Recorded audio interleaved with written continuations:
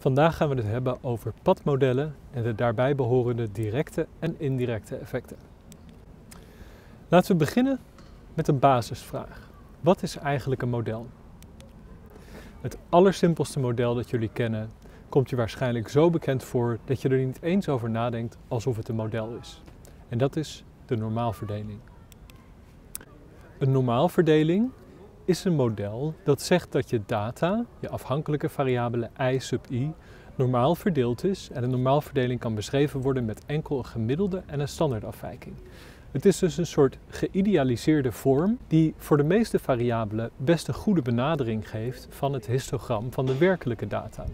Je zou het model van een normaalverdeling op verschillende manieren kunnen opschrijven in formules. Laten we daar even naar kijken. De eerste manier is door te zeggen i sub i alle individuele waarden op mijn variabele i is normaal verdeeld, dat betekent die tilde hier, en die n staat voor normaal verdeeld, met tussen haakjes twee parameters, een gemiddelde mu en een standaardafwijking sigma. En deze formule kan je ook op andere manieren schrijven. Dat is bijvoorbeeld hetzelfde als dat je zegt, mijn afhankelijke variabele i is gelijk aan een gemiddelde mu plus individuele voorspellingsfouten epsilon sub i en die voorspellingsfouten die zijn normaal verdeeld en het gemiddelde daarvan is 0. Dus wat we hier eigenlijk hebben gedaan is we hebben het gemiddelde uit de formule voor de normaalverdeling gehaald en we hebben het in de formule van de lineaire regressie gestopt en dan krijgen we er een errorterm epsilon sub i bij en die is normaal verdeeld met de gemiddelde 0 in plaats van het gemiddelde mu waar we het eerder over hadden. Nou, jullie weten ook dat je deze formule anders kan opschrijven. We kunnen namelijk de letter mu vervangen met de letter b sub 0. En het maakt eigenlijk niet uit welke letter we daar gebruiken. De formule is precies hetzelfde. Ik laat dit zien omdat het in de regressie gebruikelijk is om voor de intercept de letter b sub 0 te gebruiken, of de letter a. Maar om duidelijk te maken dat dit gewoon een andere manier is van het opschrijven van die formule voor de normaalverdeling, maak ik hier een paar stappen. Ik ga van i is normaal verdeeld met een gemiddelde mu en een standaardafwijking sigma naar i is een functie van gemiddelde mu plus individuele voorspellingsfouten en die zijn normaal verdeeld met een gemiddelde van 0. Dus die zijn verdeeld om het gemiddelde van de regressie heen. En ik maak vandaar de stap naar i sub i is b0 plus die individuele voorspellingsfouten die normaal verdeeld zijn om de b0 heen. En vandaar maak ik een laatste stap, namelijk om te zeggen dat we ook in die eerste formule in plaats van mu zouden kunnen zeggen b0. Dus onze afhankelijke variabele i sub i is normaal verdeeld met een gemiddelde van b0, dat is de intercept, en een standaardafwijking van sigma. Al deze formules doen niks anders dan de normaalverdeling opschrijven op een manier die lijkt op regressie. En nu gaan we de volgende stap zetten.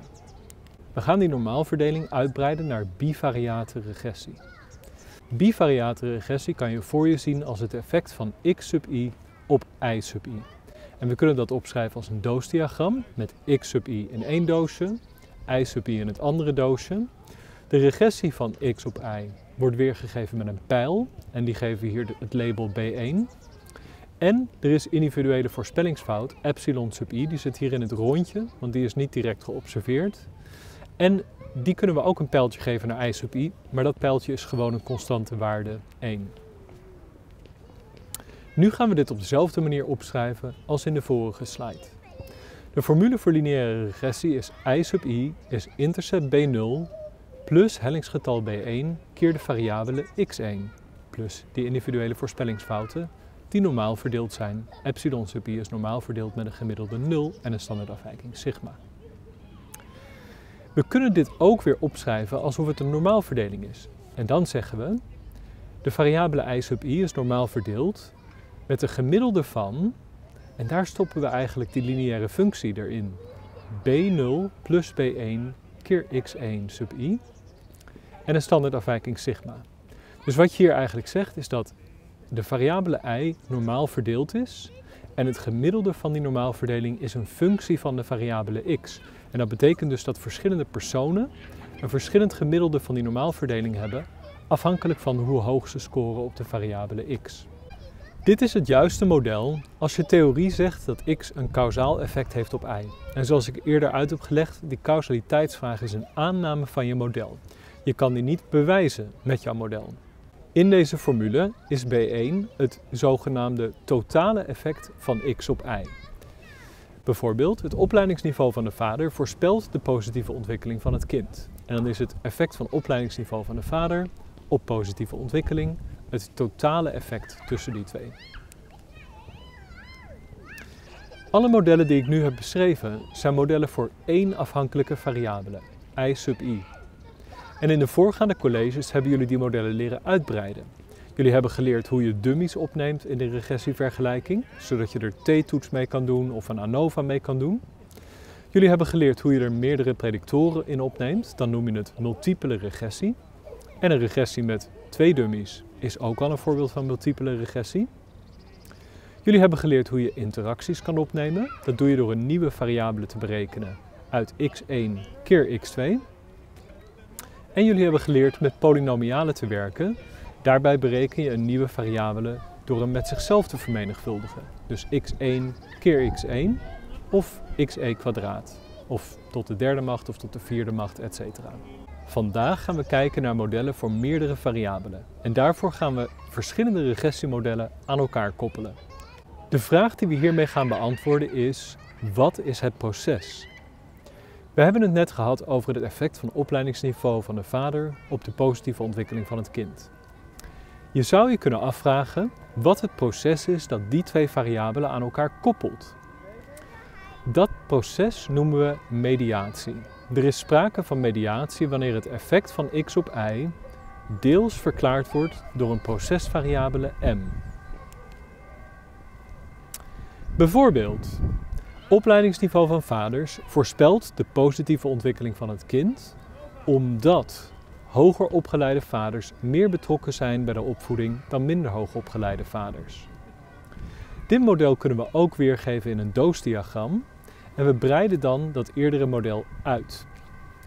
Onderin dit plaatje zie je nog steeds het effect van x op y en de voorspellingsfouten van de variabele y maar daarboven zien we nu de procesvariabele m. En we zien dat er een soort kettingreactie ontstaat van x op m op y. Met andere woorden, er is een effect dat van x via m naar y loopt. In dit model is sprake van meerdere afhankelijke variabelen. m is namelijk een afhankelijke variabele van x. En y is een afhankelijke variabele van x en van m. Alle afhankelijke variabelen in dit model krijgen een voorspellingsfout, want die voorspellingen zijn nooit perfect. Dus we zien de bekende voorspellingsfout van de variabele i. Dat is hier e2 sub i genoemd, omdat er nu twee voorspellingsfouten zijn. En we zien een voorspellingsfout voor de mediator en die heet hier e1 sub i. In dit plaatje nemen we dus ook de medierende variabele m mee.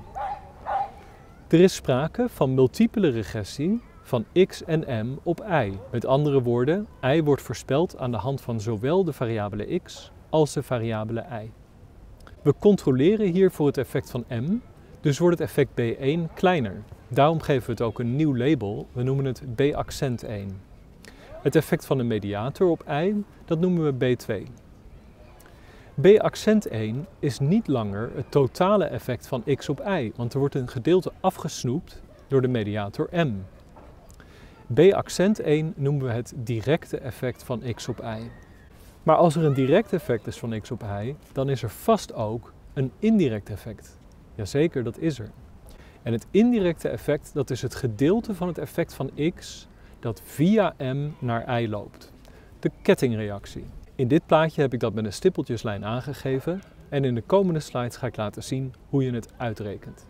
In het verleden werd er vaak een onderscheid gemaakt tussen volledige mediatie aan de ene kant en gedeeltelijke mediatie aan de andere kant. Wat is dit verschil? We spreken over volledige mediatie wanneer we beginnen met een significant totaaleffect van x op y. En als we de mediator m meenemen, dan is het directe effect van x op y niet langer significant. Dit betekent dat het totale effect van x op y volledig verklaard wordt door het indirecte effect dat via m loopt. Met andere woorden, de procesvariabele m verklaart volledig het effect van x op y.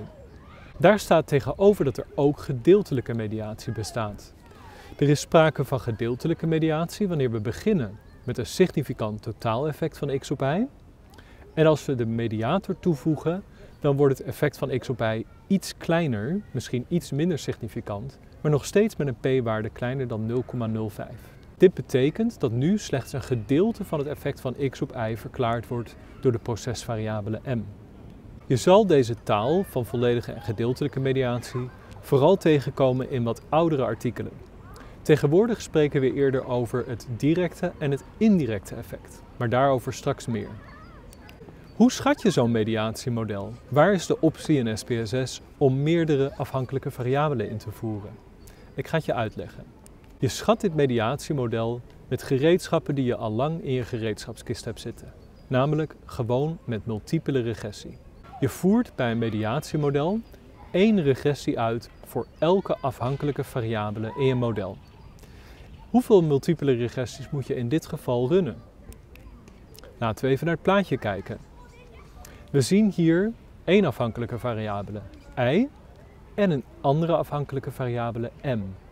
Voor allebei die afhankelijke variabelen moet ik één multiple regressie runnen. Dus we gaan kijken naar de effecten van x en m op y. En we gaan kijken naar het effect van x op de mediator m. In de praktijk zal je vaak zien dat mensen niet alleen maar twee modellen runnen, maar dat ze vier stappen volgen. En die vier stappen zijn gebaseerd op een artikel van Barron en Kenny uit 1986. Het is wel belangrijk om te vernoemen dat die stappen inmiddels achterhaald zijn. Als je iets wilt weten over de kritiek op die stappen, dan kan je het beste dit artikel van Hayes lezen, die heel duidelijk uiteenzet wat een betere manier is om naar mediatie te kijken. Maar toch zal je in de literatuur heel vaak deze vier stappen tegenkomen, dus is het belangrijk dat je ze kent en begrijpt. De stappen zijn als volgt. In stap 1 doen we een bivariate regressie van x op y om te kijken of er sprake is van een totaaleffect. In stap 2 doen we een bivariate regressie van x op m om te kijken of x ook de mediator verklaart. In stap 3 doen we een multiple regressie van x en m op de afhankelijke variabele y en kijken we naar het effect van m. Als dat significant is, dan zou er dus sprake kunnen zijn van mediatie. En in de vierde stap kijken we naar wat er gebeurt met het effect van x nadat we controleren voor m. En op basis van het veranderen van de significantie van het effect bepalen we of het volledige dan wel gedeeltelijke mediatie is. Maar nogmaals, let op, er is kritiek op deze stappen. Met name omdat de p-waarden van individuele parameters niet geschikt zijn om modelselectie te doen, maar ook omdat de power van deze methode veel minder is dan bij alternatieve methoden. Laten we even naar een voorbeeld kijken van de vier stappen van een Barron en Kenny mediatieanalyse. Ik ga hier kijken naar dat voorbeeld van het effect van opleiding van de vader op de adjustment van het kind. In de eerste stap kijk ik naar het totale effect van opleiding op adjustment. We zien hier dat dat effect significant is met een p-waarde van 0,03 en een hellingsgetal van 0,15. Opleiding verklaart ongeveer 5% van de variantie in de adjustment van het kind. In stap 2 gaan we kijken of opleiding ook een significant effect heeft op de mediator betrokkenheid van de vader. En dat blijkt zo te zijn. De p-waarde is kleiner dan 0,01, hij is namelijk 0,002. Het hellingsgetal is 1,38 en de predictor opleiding voorspelt ongeveer 10% van de variantie en de betrokkenheid van de vader. In stap 3 gaan we multiple regressie doen en kijken naar het effect van de mediator als we controleren voor de x-variabelen. En wat we dan zien is dat de mediator betrokkenheid een significant effect heeft op de afhankelijke variabele adjustment. Dus er zou sprake kunnen zijn van mediatie. En de laatste stap, stap 4, is dat we kijken naar de afname van het effect van x wanneer we controleren voor de mediator m. En wat we eigenlijk zien is dat x hier niet langer significant is. De p-waarde is 0,523.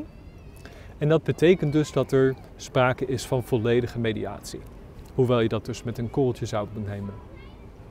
We zien ook dat er een toename is van de verklaarde variantie. Er wordt nu 31% van de variantie in y verklaard. Dus dit model geeft ons betere voorspellingen van de adjustment van het kind dan als we alleen maar naar betrokkenheid kijken.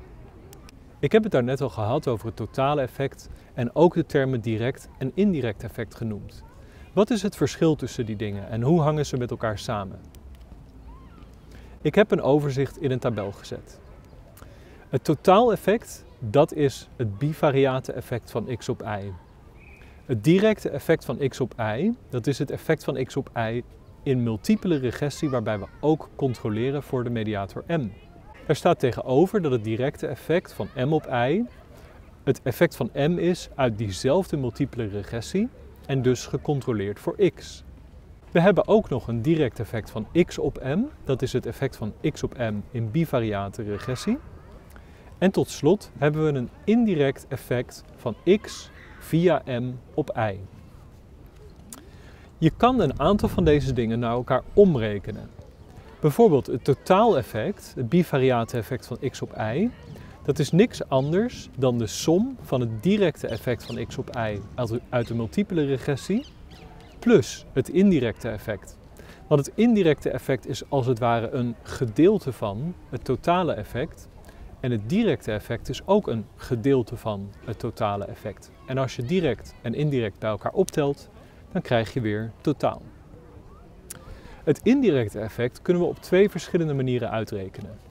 De simpelste manier is om het directe effect van x op m te pakken en dat te vermenigvuldigen met het directe effect van m op y. Het product van die twee geeft ons de waarde van het indirecte effect. We kunnen het ook berekenen door het verschil te nemen tussen het totale effect en het directe effect van x op y, dus nadat we controleren voor m. Die twee rekensommen geven ons precies dezelfde waarde voor het indirecte effect. Laten we hier even naar kijken in datzelfde plaatje van daarstraks. We hebben hier alle paden een label gegeven.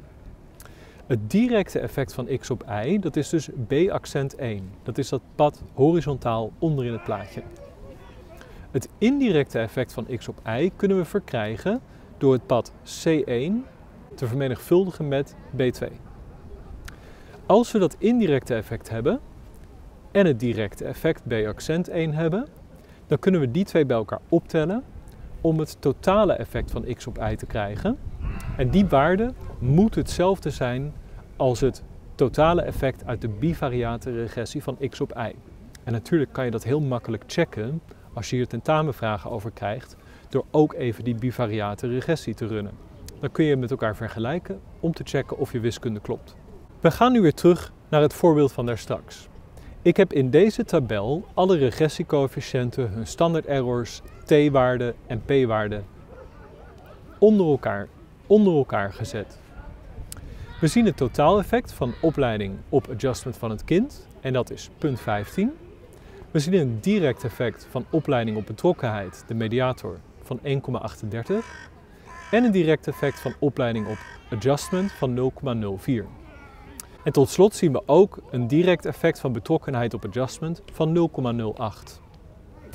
We kunnen het indirecte effect berekenen door het directe effect van x op de mediator te vermenigvuldigen met het directe effect van m op de afhankelijke variabele y. Nou, we zoeken ze op in de tabel. Het directe effect van x op de mediator is 1,38. Het directe effect van de mediator op de y-variabele is 0,08. Vermenigvuldig die twee met elkaar geeft je het indirecte effect 0,11. We kunnen ook het totale effect berekenen door het directe effect van x op y, wanneer we dus controleren voor de mediator, op te tellen bij het indirecte effect. Nou, het directe effect is 0,04. Tellen we daarbij het indirecte effect op, dan krijgen we weer 0,15 en dat komt overeen met het totale effect in de eerste regel uit de bivariate regressie. Ik heb jullie nu uitgelegd hoe je het indirecte effect kan berekenen. Maar er blijft een belangrijke vraag over, namelijk, is het ook significant? Nou, er zijn verschillende methoden om de significantie te bepalen. De eerste methode heb ik al uitgelegd. Dat zijn de Barron en Kenny steps. In de slide vind je een link waar die methode verder wordt uitgelegd. Zij bespreken vier stappen waarin je kijkt naar de verandering van significantie van het directe effect. Maar ze stellen eigenlijk geen manier voor om te toetsen of het indirecte effect zelf ook significant is. Deze methode heeft een aantal beperkingen. Allereerst worden alle beslissingen bij die vier stappen gebaseerd op de p-waarde van individuele parameters uit je model. Maar die p-waarden zijn niet geschikt voor het kiezen van het juiste model. Dus die worden hier eigenlijk gebruikt op een manier waar ze niet voor bedoeld zijn. Een tweede beperking van Barron en Kenny is dat er in hun artikel een soort misvatting staat dat er eerst een totaal effect moet zijn van x op y voordat er überhaupt sprake zou kunnen zijn van mediatie. En dit hoor je nog steeds vaak. Er moet eerst een totaal effect zijn voordat er een effect is om gemedieerd te worden. Dit klopt niet. Ik ga jullie straks uitleggen dat er een situatie is waarbij het wel mogelijk is dat het totale effect niet significant is, maar het indirecte effect en het directe effect wel. En die situatie die noemen we suppressie. Het indirecte effect en het directe effect heffen elkaar op. Tot slot is een beperking van de Barron en Kenny stappen dat het weinig power heeft om een bestaand effect te vinden, vergeleken met alternatieve methoden die ik straks ga uitleggen. Maar eerst gaan we even kijken naar het suppressie-effect, wat ik daarnet noemde. Jullie hebben al eerder van het suppressie-effect geleerd in de context van multiple regressie. Maar hier wordt het extra relevant. Er is sprake van suppressie wanneer het directe en indirecte effect een omgekeerd teken van elkaar hebben. Dus de ene is positief en de ander negatief. Want dan kan het gebeuren dat ze elkaar tenminste deels opheffen. Wat er kan gebeuren is dat het totale effect niet significant wordt of minder significant dan wanneer je controleert voor de mediator. Of zelfs dat het totale effect een omgekeerd teken heeft dan wanneer je controleert voor de mediator. Als je controleert voor de mediator verandert het effect van x op y. Meestal wordt het groter, maar het kan dus ook negatiever worden of van teken veranderen. We moeten dus op zoek naar betere manieren om de significantie te bepalen van het indirecte effect dan enkel die vier stappen van Barron en Kenny. Eén veelgebruikte methode is de zogenaamde Sobel-test. En in de slide vind je ook weer een link waar die verder wordt uitgelegd. De logica van een Sobel-test is als volgt. Je kunt heel veel parameters toetsen met een t-toets of een z-toets. Het enige wat je daarvoor nodig hebt is een puntschatting. Nou, daarvoor gebruik je dat indirecte effect dat je net hebt berekend. En een standaard error. En voor de Sobel-test wordt die standaard error uitgerekend op basis van de standaard errors van de twee directe effecten die samen het indirecte effect uitmaken. Op basis van die puntschatting en standaard error wordt dan een t-waarde berekend, waarvoor dan een p-waarde opgezocht kan worden. Natuurlijk is de aanname hiervan, net zoals bij elke t-toets, dat de sampling distribution van het indirecte effect normaal verdeeld is. Maar er is een probleem. En dat is dat die sampling distribution helemaal niet normaal is. Dus die aanname die wordt overschreden. Als je namelijk twee normale verdelingen met elkaar vermenigvuldigt, en dan heb ik het over de sampling distribution van beide directe effecten, dan krijg je iets wat helemaal niet zo normaal verdeeld is. Er is nog een derde oplossing die dit probleem vermijdt. En die oplossing heet bootstrapping. Er staat weer een link in de slide waar dit verder wordt uitgelegd. Bootstrapping is wat we noemen een non-parametrische methode. Dat is een chic woord om te zeggen dat we die aanname van normaliteit los kunnen laten. Bootstrapping heeft andere aannamen, namelijk dat je steekproef representatief moet zijn voor de populatie. Maar dat is geen nieuwe aanname. Die aanname doe je namelijk altijd wanneer je jouw resultaten wilt generaliseren naar de populatie. Je zou in principe elke toets kunnen bootstrappen en dan hoef je verder geen aannames te doen over normaliteit. Maar ik ga het jullie vandaag specifiek uitleggen met betrekking tot het indirecte effect. Om bootstrapping goed uit te leggen, moet ik eerst even jullie theorie over het toetsen van parameters opfrissen. Ik noemde daar net al de z-toets of de t-toets. En die toetsen vergelijken een parameter met de standaard error van die parameter. Dus als de parameter theta heet, dan hebben we een puntschatting theta met een hoedje op. En er hoort ook een standaard error bij, de standaard error van theta. De z-waarde is niks anders dan theta gedeeld door zijn standaard error. Met andere woorden, hoeveel standaard errors groot is theta? Die standaard error, dat is de standaardafwijking van de hypothetische sampling distribution van theta. Wat is die sampling distribution ook alweer? Nou, die sampling distribution, dat is de verdeling die je zou krijgen als je duizend of meer steekproeven zou trekken uit de populatie en in elke steekproef theta berekent. Sommige theta's vallen wat lager uit, andere theta's vallen wat hoger uit. De meeste theta's zitten best wel dicht in de buurt bij de populatiewaarde. En zo krijg je een normaalverdeling. En de standaardafwijking van die normaalverdeling die noemen we de standaard error. Deze verdeling is theoretisch, want het gebeurt eigenlijk nooit dat iemand duizend of meer steekproeven trekt uit een populatie. Maar we gebruiken die logica om de testtheorie te verdedigen. Een bootstrap-algoritme doet iets heel slims. Het is een empirische benadering van de sampling distribution. In plaats van heel veel steekproeven uit de populatie te trekken, trekken we heel veel steekproeven uit de dataset zelf. Minstens duizend, maar vaak veel meer. In plaats van duizend of meer steekproeven uit de populatie te trekken, trekken we duizend of meer steekproeven uit de data zelf. We krijgen dus duizend of meer unieke datasets, maar de, maar de waarden daarin komen uit de originele dataset. Vervolgens, in stap 2, runnen we onze analyse op iedere steekproef. Vervolgens, in stap 2, runnen we onze analyse op elk van die duizend of meer steekproeven. We krijgen dus duizend of meer resultaten van onze analyse. In de derde en laatste stap kijken we naar de verdeling van de indirecte effecten over die duizend steekproeven. Die verdeling is bij benadering gelijk aan de sampling distribution die we zouden krijgen als we de duizend steekproeven uit de populatie hadden getrokken. Sterker nog, als onze data representatief zijn voor de populatie, dan moeten die twee ongeveer overeenkomen. Hoe ziet dat er nou uit? Nou, ik heb hieronder een paar regels van een tabel met duizend regels afgedrukt. En op elk van die regels staat één van de duizend steekproeven die ik heb getrokken uit de dataset. En jullie kunnen zien dat ik in elk van die datasets mijn hele analyse heb uitgevoerd en het totale effect van opleiding op adjustment heb uitgerekend. In de eerste regel is dat punt 11. En het directe effect van opleiding op betrokkenheid heb uitgerekend. In de eerste regel is dat 1,77. En het directe effect van opleiding op adjustment heb uitgerekend. En het directe effect van betrokkenheid op adjustment heb uitgerekend. En het indirecte effect heb uitgerekend op basis van die voorgaande twee. Ik krijg dus voor alle parameters in mijn model duizend schattingen. En voor elke parameter zou ik de sampling distribution kunnen tekenen.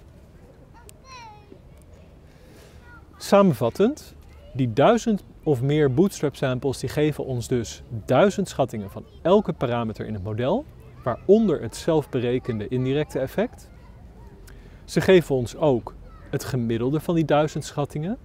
En dat gemiddelde is onze nieuwe puntschatting van de parameter. De mediaan, dus onze puntschatting, is hier punt 10. We krijgen ook een standaardafwijking over die duizend schattingen. En dat is de standaard error van die parameter. In dit geval is de standaard error 0,04. En tot slot krijgen we percentielen van deze gebootstrapte verdeling. En als we de 0,025 en de 0,900 en de 0,975 percentielen nemen van die duizend schattingen, dan krijgen we een non-parametrisch 95% betrouwbaarheidsinterval voor onze puntschatting. En in dit geval loopt dat van 0,04 naar 0,18. De waarde 0 valt buiten dat betrouwbaarheidsinterval, dus kunnen we concluderen dat ons indirecte effect significant is. We kunnen beter dat betrouwbaarheidsinterval gebruiken om te toetsen dan die standaard error, omdat die standaard error weer de aanname doet dat de sampling distribution normaal is, terwijl we al weten dat dat niet zo is. Om dat te laten zien heb ik hier een histogram getekend van de daadwerkelijke duizend gebootstrapte indirecte effecten. En je ziet dat die verdeling scheef is. En dat laat meteen zien waarom we in de problemen komen als we bijvoorbeeld Sobos-test uitvoeren. De rode lijn, de rode verticale lijn in dit histogram, dat is de waarde van de puntschatting voor ons indirecte effect. En we zouden daar een venster omheen kunnen tekenen op basis van de standaard error. Dat is het parametrische betrouwbaarheidsinterval, wat we dus ook gebruiken als we bijvoorbeeld een z-toets uitvoeren. De blauwe stippellijnen, dat zijn de 0,025 en de 0,975 percentielintervallen. En wat je eigenlijk ziet, is dat die percentielintervallen veel meer meegaan met de asymmetrische verdeling van dit histogram dan dat symmetrische interval gebaseerd op de standaard error. Dus met andere woorden, we kunnen beter die blauwe percentielintervallen gebruiken in plaats van dat rode symmetrische betrouwbaarheidsinterval of de z-toets. Ik ga ook een voorbeeld geven in SPSS, zodat jullie weten hoe je de output van SPSS over indirecte gebootstrapped effecten kunt interpreteren. We zitten nu in SPSS en we kijken naar dezelfde data die ik daarnet in het voorbeeld gebruikte. We hebben de afhankelijke variabele adjustment van het kind op een 7-punts Likert schaal. We hebben de voorspeller opleiding op een schaal van 1 tot en met 10.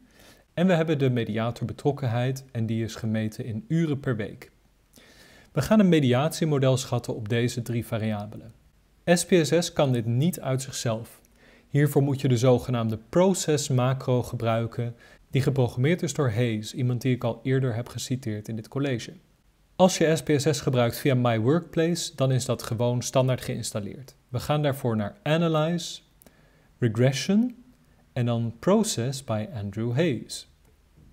We hebben hier een dialoogvenster waarin we kunnen aangeven wat de y-variabele is. Nou, dat is adjustment. De x-variabele, nou, dat is opleiding. En de mediator m, dat is betrokkenheid. We moeten ook een modelnummer opgeven. Ik kan jullie verklappen dat het modelnummer voor mediatie nummer 4 is. Dat staat ergens op een website uitgelegd. We willen 95% betrouwbaarheidsintervallen. We willen nou, minstens 1000, maar het liefst nog meer bootstrap samples. Ik ga er nu 1000 doen, want het duurt best wel lang. En ik klik ook op Bootstrap Inference voor Model Coefficients. Dat betekent dat we voor alle parameters in het model gebootstrapte standaard errors en betrouwbaarheidsintervallen krijgen. En dat is het eigenlijk al. Ik druk op OK en nu gaat mijn computer die 1000 bootstrap samples runnen. Dit duurt best wel lang, want mijn computer gaat dus 1000 keer de hele analyse uitvoeren. En hier zijn de resultaten. Ik zal ze even groot maken. De output ziet er wat anders uit dan je gewend bent. Alles is namelijk in tekst afgedrukt. We zien hier y-variabele adjustment, x-variabele opleiding, mediator betrokkenheid. De steekproef bestond uit 100 proefpersonen.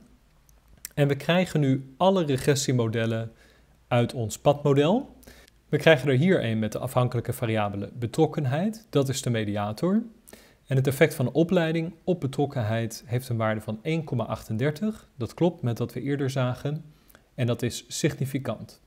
En dit is het betrouwbaarheidsinterval voor die parameter. Dan krijgen we een multiple regressie voor de afhankelijke variabele adjustment. We zien dat het effect van opleiding 0,04 is. Dat klopt ook met wat we eerder zagen. Dat is niet significant, dat klopt ook. En het effect van betrokkenheid is 0,08 en dat is wel significant. En hier zie je ook de ondergrens en de bovengrens voor betrouwbaarheidsintervallen voor al deze modelparameters. En nu krijgen we wat unieke output. We krijgen namelijk het directe en indirecte effect van x op y. En we zijn dan met name geïnteresseerd in het indirecte effect. De waarde van dat indirecte effect via betrokkenheid is 0,11.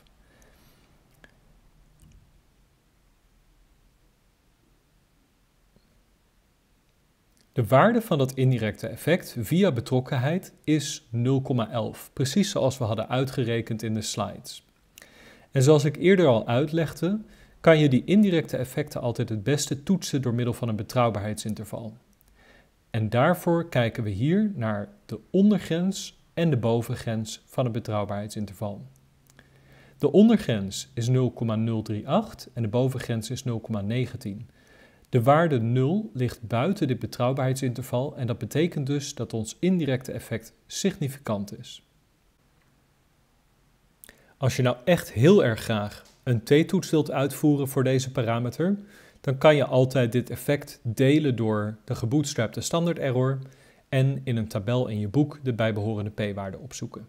Maar ik kan jullie aanraden om gewoon het gebootstrapte betrouwbaarheidsinterval te gebruiken. Jullie hebben nu geleerd hoe je mediatie kan toetsen. En mediatie is één voorbeeld van een zogenaamd paddiagram. Een paddiagram dat is een doosdiagram met meer dan twee variabelen. Maar er bestaan ook ingewikkeldere paddiagrammen dan mediatie. Daar gaan we nu naar kijken. Hier is een voorbeeld dat je tegen zal komen in de sample sessions. We hebben hier vier variabelen, namelijk de opleiding van de vader, father educ, de opleiding van het kind, educ, de status van het beroep van het kind, status, en supervision. Ik weet niet wat dat betekent. Hoeveel afhankelijke variabelen zien jullie hier? Laten we even kijken.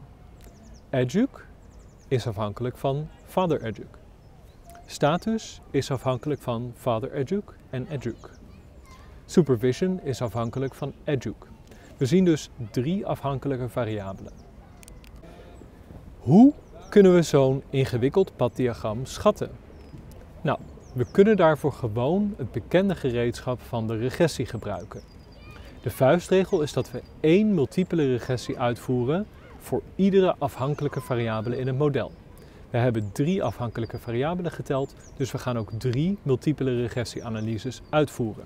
Op basis van de resultaten van die drie multiple regressies kunnen we alle indirecte effecten gaan uitrekenen op basis van de kettingregel die ik daar straks voor mediatie heb uitgelegd. Namelijk, je vermenigvuldigt alle directe effecten uit de ketting.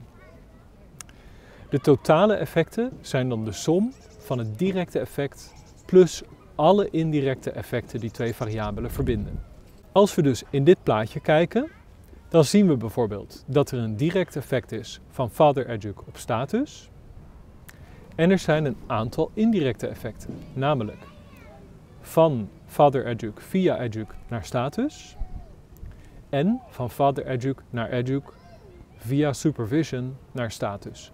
Dus twee indirecte effecten van father educ naar status. Het totale effect van father educ op status is dus dat directe effect plus het indirecte effect via educ plus het indirecte effect via educ en via supervision. Om het indirecte effect via educ te krijgen, vermenigvuldig je het effect van father educ op educ met het effect van educ op status.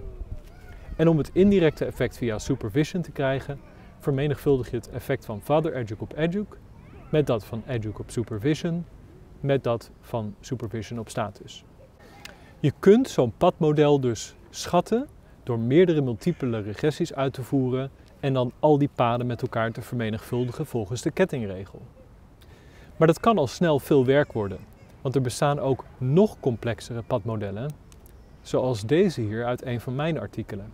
Je ziet hier ontzettend veel directe en indirecte effecten en het zou heel veel werk worden om dat allemaal met de hand uit te rekenen. Gelukkig hoeft dat niet. Je kunt zo'n ingewikkeld padmodel namelijk ook analyseren met een techniek die Structural Equation Modeling heet. Structural Equation Modeling schat alle regressievergelijkingen in je padmodel tegelijkertijd. En dat is handig wanneer die regressievergelijkingen met elkaar samenhangen, zoals bij mediatie het geval is. Je hoeft dus maar één analyse te runnen om alle directe, indirecte en totale effecten te krijgen. Je kunt het Structural Equation model ook nog verder uitbreiden en factoranalyse meenemen in het model. Dat betekent dus dat je latente variabelen hebt, bijvoorbeeld voor een psychologische meetschaal. En daarmee kan je de meetfout van de variabelen scheiden van de werkelijke score van je participanten. Je model wordt hier dus beter van, omdat je minder meetfout overhoudt in je verbanden. Deze techniek is geen onderdeel van dit vak, maar je kunt er meer over leren bij de minor methode en statistiek of bij de master. Tot slot wil ik reflecteren op het spanningsveld tussen theorie en de statistische modellen die we schatten. Net als bij gewone regressie is de causaliteit een aanname van je mediatiemodel. Dat betekent dus dat als er in werkelijkheid sprake is van mediatie en jij schat een mediatiemodel, dan is dat model correct en dan kan je je indirecte effect interpreteren als mediatie. Met andere woorden, als de aanname van causaliteit klopt, dan geeft het mediatiemodel het proces weer waardoor x een effect heeft op y. Maar je kan het nooit omkeren. Je kan dus nooit zeggen er is sprake van mediatie, want mijn indirecte effect is significant. Als de causaliteitsaanname overschreden wordt, dan zijn de resultaten van je mediatieanalyse, plat gezegd, betekenisloos. Er zijn twee manieren, zoals ik al vaak heb uitgelegd, om causaliteit te onderbouwen. De ene is door je onafhankelijke variabelen te manipuleren. En de tweede is door causaliteit te beargumenteren op basis van theorie. Hoe is het nou mogelijk dat er sprake kan zijn van een significant indirect effect, zelfs als de causaliteitsaanname niet klopt? Nou, ik zal het uitleggen op basis van dit Venn-diagram. Het enige wat er nodig is om een significant indirect effect te hebben, is dat er sprake is van correlatie tussen je drie variabelen. En die gedeelde variantie, die correlatie, die kan allerlei oorzaken hebben, zoals een lurking variable die je niet mee hebt genomen in je onderzoek. We hebben hier in dit Venn-diagram de variantie van de onafhankelijke variabelen en van de afhankelijke variabelen en van die mediator. Als die drie variabelen alle drie met elkaar samenhangen, dus als er overlap is tussen alle drie, dat is het gedeelte dat gelabeld is met de letter C, dan zal je altijd een significant indirect effect vinden, ongeacht waarom die variabelen met elkaar samenhangen. En daarom is het belangrijk om ook alternatieve verklaringen te overwegen. Stel je bijvoorbeeld voor dat ik in mijn onderzoek vind dat de betrokkenheid van de vader betere adjustment voorspelt. En dat effect wordt gemedieerd door de sfeer in huis. Uh, er is goede relatiekwaliteit, het is gezellig in huis enzovoort. Betekent dat dan dat we de conclusie kunnen trekken dat betrokkenheid van de vader leidt tot een betere sfeer en dat dat op zijn beurt leidt tot betere adjustment? Dat is het model wat ik heb gespecificeerd. Maar op basis van correlationele data kan ik niet die conclusie trekken. Het zou namelijk ook zo kunnen zijn dat bijvoorbeeld die betere sfeer in huis de vader motiveert om meer betrokken te worden en ook de adjustment van het kind ten goede komt. In dat geval zou dus de mediator eigenlijk een derde variabele zijn die zowel x als y veroorzaakt. Hier is een tweede voorbeeld. Stel je voor dat ik vind dat het opleidingsniveau van de vader de schoolprestaties van zijn kind voorspelt. En dat dat effect gemedieerd wordt door hoeveel hulp bij huiswerk de vader biedt. Kunnen we dan de conclusie trekken dat hulp bij huiswerk een rol speelt bij de intergenerationele overdracht van opleidingsniveau? Misschien. Maar het zou ook zo kunnen zijn dat er een lurking variabele is, zoals erfelijke componenten van intelligentie, die alle gemeten variabelen in het onderzoek voorspelt.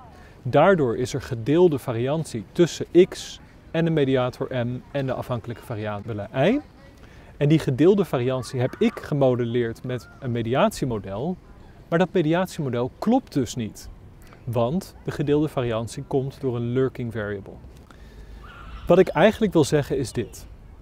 Als we drie variabelen gemeten hebben met cross-sectionele data, dus geen experimenteel design, dan zijn er heel veel equivalente modellen denkbaar die de correlatie tussen die drie variabelen kunnen verklaren.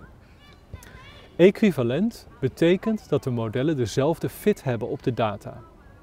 Dit plaatje hieronder geeft een overzicht van hoeveel equivalente modellen er bestaan voor drie variabelen.